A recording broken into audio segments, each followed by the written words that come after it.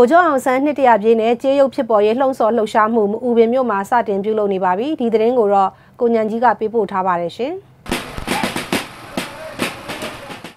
မူပင်မြို့မှာပြုလုပ်မဲ့ဗိုလ်ချုပ်ရာပြည့်ပွဲနဲ့ကျေးရုပ်ထုပြုလုပ်ဖို့ကိုတိုင်းဒေသကြီးအစိုးရအဖွဲ့လွတ်တော်ကိုယ်စားလှယ်တွေပါတီပေါင်းစုံလူမှုရေးအသင်းဖွဲ့ပေါင်းစုံဘကသများအဖွဲ့ချုပ်အပါအဝင်ပြည်သူလူထုကဒီဇင်ဘာလ10ရက်နေ့ကစပြီးစုပေါင်းပြုလုပ်နေကြတာပါ ဘိုးကျောင်းအဆန်းကကျွန်တော်တို့မြန်မာနိုင်ငံတနိုင်ငံလုံးမှာရှိတဲ့ဟိုအမျိုးသားခေါင်းဆောင်ကြီးဖြစ်တဲ့အတွက်ကြောင့်မလို့ဟိုကျေးရုပ်လုပ်တဲ့အထူးပဲကျေးဇူးတင်ရှိပါတယ်။နိုင်ငံခေါင်းဆောင်ကြီးဘိုးကျောင်းအဆန်းကနေပြီးတော့ဗောနော်။ခရင်အမျိုးသားနှစ်တကူပွဲတော်ကိုလည်းဟိုပြတ်သူလာတန်တရက်နေ့ကိုသတ်မှတ်ပေးတဲ့အတွက်ကြောင့်လည်းကျွန်တော်တို့တိုင်းသားခရင်လူမျိုးများအနေနဲ့အထူးပဲ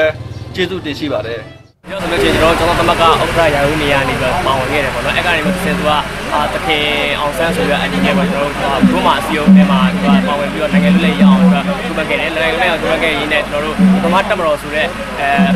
အဖွဲ့အစည်းကိုတောင်းပြီးတော့ပေါ့အာနိုင်ငံလူလေးရအောင်နဲ့နေချင်းအင်္ဂလိပ်လက်ကနေပြီးတော့အာသူကရောက်သူမခဲ့တယ်ပေါ့နော်အဲ့လိုမျိုးဆိုင်တက်ထိုက်တဲ့ပုဂ္ဂိုလ်တစ်ခုဖြစ်တဲ့ဘုရုပ်ကိုပေါ့နော်ဘုရုပ်အောင်ဆန်းရဲ့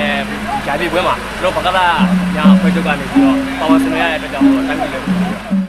ရုပ်အောင်သားကဘာတနိုင်ငံလုံးကချစ်တဲ့လူတွေဒုလိုက်ဖခင်တယောက်လည်းဖြစ်ပါတယ်ကျွန်တော်တို့အမေစုရဲ့အဖေလည်းဖြစ်တယ်လို့တိုင်းပြည်လုံးကချစ်တဲ့ဖခင်ကြီးဖြစ်တဲ့အတွက်ဒီကျေးရုပ်ဖြစ်အောင်မြင်အောင်ကျွန်တော်တို့ဆောင်ရွက်တာစီစဉ်ဆွဲတော့ဆိုဒီအယောင်တိုင်းမှာဆိုတာဘုတို့ကျေးရုပ်လည်းမရှိဘူးငါတို့လူဝင်မျိုးကနေစပြီးတော့ဒီဆောက်မယ်ဆိုပြီးတော့ကျွန်တော်တို့အယူကျွန်တော်တို့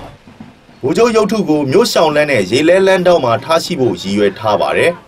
ဗိုလ်ချုပ်ရုပ်ထုကိုမန္တလေးမြို့မှာထုလုပ်နေပြီးဒီဇင်ဘာနောက်ဆုံးပတ်လောက်မှာပြီးစီးမယ်လို့ခန့်မှန်းထားကြပါတယ် ဘုတို့ခြေကိုထားမဲ့နေရာကိုတော့ကျွန်တော်ဒေသခံပြည်သူအားလုံးရဲ့စန္ဒအရတော့ကျွန်တော်ရုပ်ဆောင်လန်းရေလန်းလန်းစုံပေါ့နော်ရေလန်းလန်းနဲ့ရုပ်ဆောင်လန်းစုံထိတ်မှထားမယ်လို့အားလုံးစန္ဒရှိကြပါတယ်။နောက်ကုံကြငွေအားလုံးကတော့ဘုတို့ခြေကို100 350ကုံကြငွေရှိမယ်လို့ခန့်မှန်းထားပါတယ်။လက်ရှိအဲ့ခံထားတဲ့မန်လေးမန်လေးမှာအနေထားပါတယ်ဥတ္တန်တိုင်းလို့ရဲ့လုပ်ငန်းမှာအနေထားပါတယ်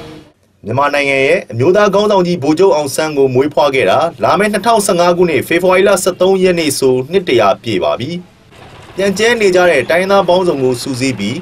လွတ်လပ်ရေးရရှိအောင်ကြိုးပမ်းနိုင်ခဲ့မှုအပါအဝင်တိုင်းပြည်နဲ့လူမျိုးအပေါ်ပေးဆက်ဆွန့်လွတ်ခဲ့တဲ့သူ့ရဲ့တန်မိုးတွေအတွက်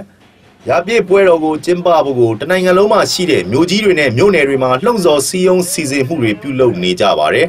။ကျွန်တော်ကညင်ကြီးပါ။